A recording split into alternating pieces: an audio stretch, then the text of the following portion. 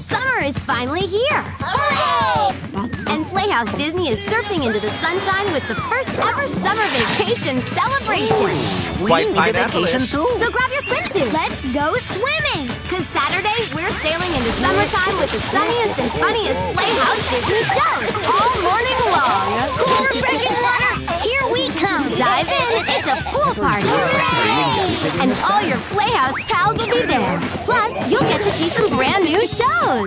Handy Manny, The Wiggles, The Doodlebops, and my friends Tigger and Pooh! Plunge into summer with the Summer Vacation Celebration! Saturday starting at 6, 5 Central on Playhouse Disney.